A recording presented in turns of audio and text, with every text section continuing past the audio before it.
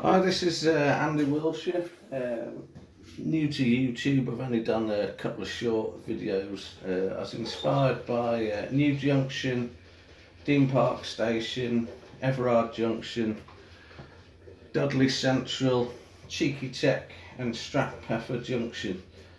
Um, they all do uh, excellent videos, uh, really inspirational stuff on there. They've got uh, excellent layouts. Uh, I've not got that far yet. Um, purely uh, not enough charm in the day with a toddler around the house. Um,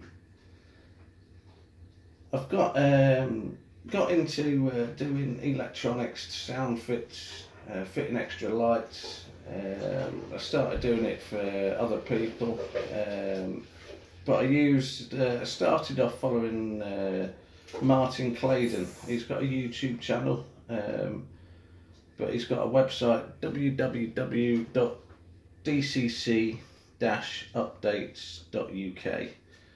Um, he's got circuit diagrams, uh, how he's updated the models. Uh, he's done the MPV class 43s, you name it. There's loads of steam locos and DMUs, uh, locos, loads on there. Uh, so have a look at his website. Um, I use that as a basis for the MPV. I've done the, quite a few of them now for myself and other people. Um, so I've modified his design slightly um, and uh, improved on it in my eyes a, a little bit. Um, but his website's still brilliant. I use Lego Man Biffo decoders uh, from D- DEDC kits. Um, I work uh, with Legomanbiffo on a class 73 at the moment, um, and I'll do a video uh, on that. But uh, without further ado, I'll uh, talk you through what I've done to uh, the MPV to the rear. Um, started off with a Railtrack MPV, uh, as you can see in front of you, that's a standard Bachmann model. Going pretty cheap sometimes uh, from Rails of Sheffield. Uh, a little bit more for the network rail one, um, but depends what era you're modelling. So that's a standard Bachmann MPV. And uh, this is the, the finished article. This is the, after I've uh, modified it, fitted the sound. Uh, my mate, the customer I'm doing this for, uh, he had someone else respray the cabs. I'm quite new to airbrushing, so I didn't feel confident doing that. So he got someone else to spray the cab ends pink, fit the decals uh, for Southwest Trains pink livery. Um, so starting with the uh, main drive unit, it's a standard 20 by 40 speaker, but it's in a sealed uh, custom enclosure in the subframe underneath. So it takes up about half this space. There's a little bit of air volume, um, and then you've got the motor at the front. So while we're looking underneath, I don't know if you can quite pick it out, but you've got a nano LED. It's uh, 0603 SMD LED. I get these off uh, eBay. Uh, you can get 20 in a pack, pre-wired with uh, 0.01 millimeter um, copper enameled wire, um, and that's what I've used for the rest of the model as well. Um, on the front of the model, uh, I don't know if you could picks it out, um, but I've also updated the lighting. Uh, I'll show you it working, but uh, on the later MPVs, it uses uh, a bimodal marker stroke tail light. So the inner two lights are the markers and the tail lights, and the outside markers aren't used any longer. But I'll show you that working. So what I've done to the model on all the floodlight locations, and I think there's around 20 of them, like there, there, So there's uh, one, two, three, four, five, five floodlight locations on the modules just on this unit, and I've fitted two nano LEDs on each floodlight location. All DCC controlled.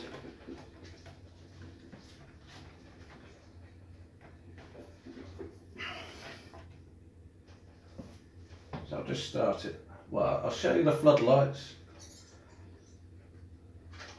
So that's all the floodlight locations all lit up. I'll show you the headlights. Just move this round a little bit. And I've even gone to the trouble of fitting, uh, as per the prototype, the ability to switch between night headlight and day headlight. If you're in a station,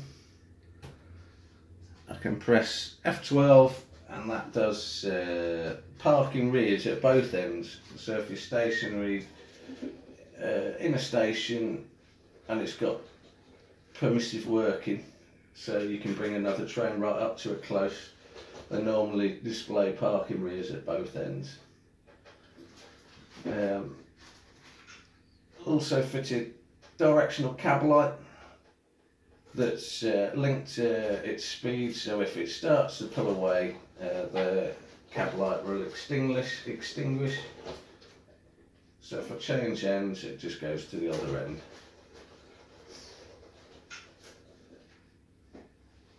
I'll just uh, start it up. So sounds pretty impressive.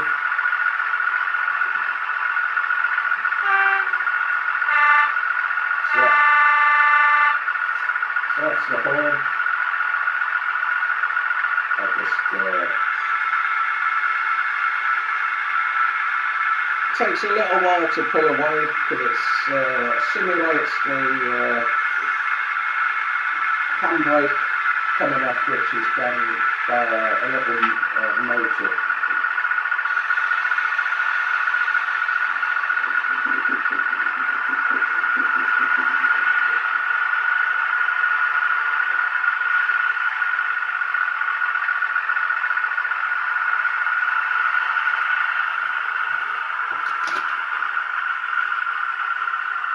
It back the other way and hopefully you can pick out the detonator flash.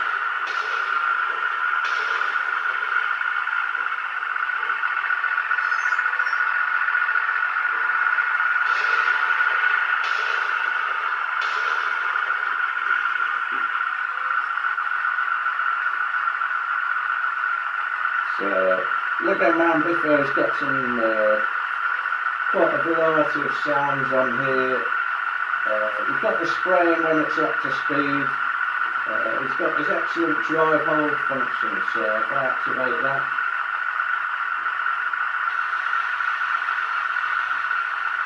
it'll rev up like it's having to work hard.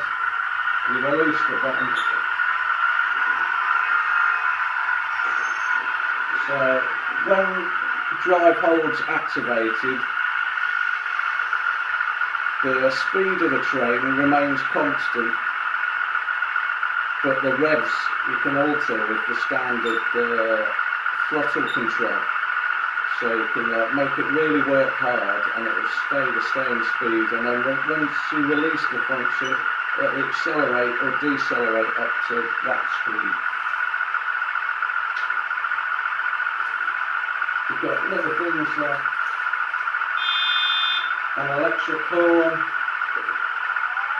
sirens,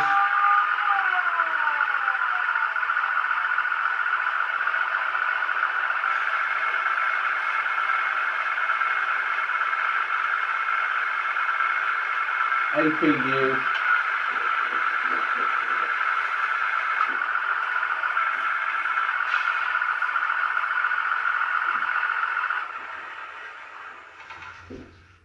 Uh, really impressive Legomanbiffo sound. There's a lot of playability there. Um, there's a lot of different um, throttle positions, um, so it doesn't just sound like it's on or off.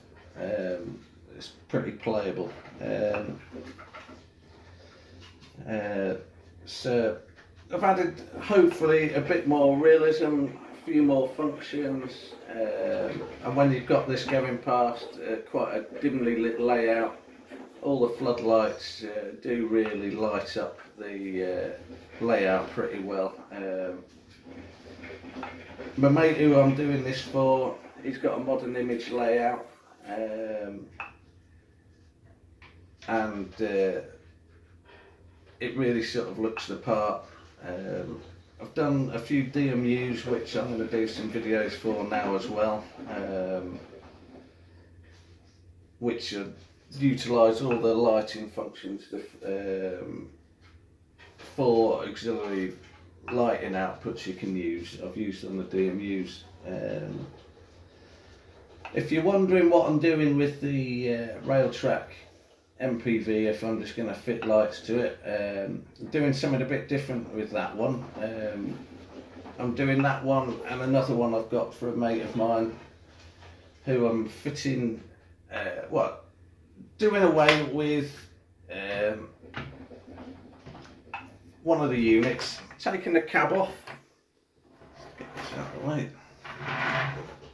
So I'm taking the cab off one of the, the dummy unit, putting it on the end of that and creating a roof and a structure on there and it will become DR98008 which is uh, in network rail yellow and it's got various scanning equipment on it, uh, cameras uh, on both ends at the front uh, and recording equipment in the middle. Uh, so that's what I'm going to be doing with this Railtrack unit.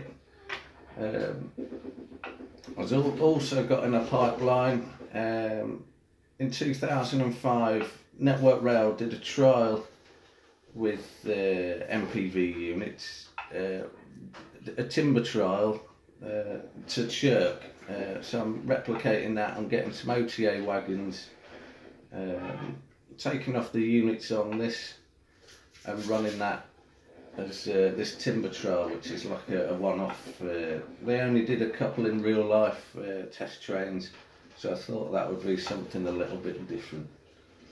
Okay, if you've got any questions, message me, um, or if you're interested in getting one done, just message me on here, and I'll get back to you. Thanks, bye.